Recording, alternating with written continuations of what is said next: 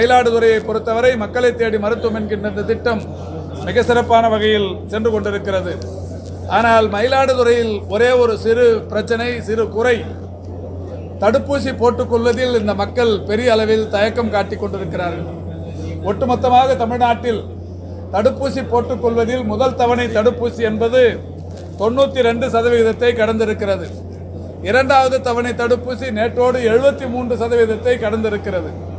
ஆனால் சீர்காழியை பொறுத்த இந்த நம்முடைய மயிலாடுதுறையை பொறுத்தவரை முதல் தவணை தடுப்பூசி எண்பதை தொட்டு கொண்டிருக்கிறது. இரண்டாவது தவணை தடுப்பூசி ஐம்பத்தி ஆறு சதவீதம் அளவில் தமிழகத்திலேயே குறைந்த அளவிலான பெர்ஃபார்மன்ஸ் உடைய மாவட்டமாக இருக்கிறது. இது சற்று மனதுக்கு குறைவான குறையான ஒரு செய்தி தான் இங்கே இந்த மயிலாடுதுறையைச் சேர்ந்த மக்கள் இதில் கொஞ்சம் கூடுதல் கவனம் செலுத்த வேண்டும். தடுப்பூசி மட்டும்தான் தொற்றுகளிலிருந்து நாம் மீண்டு வர ஒரே வழி. மயிலாடுதுறையின் கடற்கரை ஓரத்தில் இருக்கிற மீனவ பெருமக்களும் தங்களுக்கு இம்யூன் அதாவது நோய் எதிர்ப்பு சக்தி கூடுதலாக இருக்கிறது என்று கருதி கொண்டு தடுப்பூசி போட்டுக்கொள்வதில் அலட்சியம் காட்டுவதாக சொல்லப்பட்டிருக்கிறது. ஏற்கனவே நாங்கள் அந்த சங்க பிரதிநிதிகளிடம் ஊர் தலைவர்களிடம் கோரிக்கை வைத்திருக்கிறோம். அனைவருமே தடுப்பூசி போட்டுக்கொள்ள வேண்டும் என்று வேண்டுகோள் விடுக்கப்பட்டிருக்கிறது.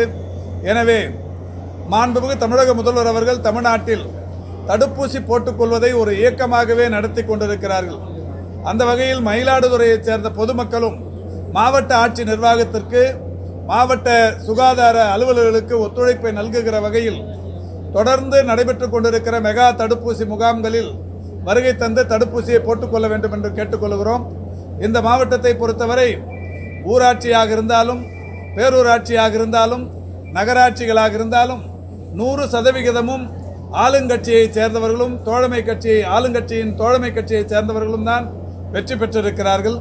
எனவே அடுத்தடுத்து நடைபெறுகிற ஒவ்வொரு வார அந்த மெகா தடுப்பூசி முகாமிலும் இந்த உள்ளாட்சி பிரதிநிதிகளும் கூடுதல் கவனம் செலுத்தி இந்த தடுப்பூசி மு யாரெல்லாம் போட்டுக்கொள்ளவில்லையோ அது முதல் தவணையாக இருந்தாலும் சரி ரெண்டாவது தவணையாக இருந்தாலும் சரி அவர்களுடைய லைன் லிஸ்டை மாவட்ட ஆட்சித்தலைவர்களிடத்தில் பே கேட்டு பெற்று அவர்களை தடுப்பூசி முகாம்களுக்கு அழைத்து வந்து தடுப்பூசி போடப்பட்டதில் எப்படி மக்களை தேடி மருத்துவத்தில் முதன்மையான இடத்தில் மயிலாடுதுறை இருக்கிறதோ மக்கள் சேவையில் மயிலாடுதுறை எப்படி முதன்மையான இடத்தில் இருந்து கொண்டிருக்கிறதோ மருத்துவத்துறைக்கு தேவையான கட்டமைப்புகளை இங்கே கேட்டு பெறுவதில் இந்த மாவட்டம் எப்படி முதன்மையான இடத்தில் இருக்கிறதோ அதேபோல் தடுப்பூசி போடப்பட்டதிலும் மயிலாடுதுறை முதன்மையான மாவட்டமாக இருக்க வேண்டும் என்றால் தேர்ந்தெடுக்கப்பட்டிருக்கிற உள்ளாட்சி பிரதிநிதிகளும் சரியான வகையில் கவனம் செலுத்தி அடுத்தடுத்த வாரங்களில் நடைபெறுகிற நடைபெறவிருக்கிற தடுப்பூசி முகாம்களில் பெரிய அளவில் அதில் வெற்றியை காண வேண்டும் என்று உங்களின் வாயிலாக கேட்டுக்கொள்கிறேன்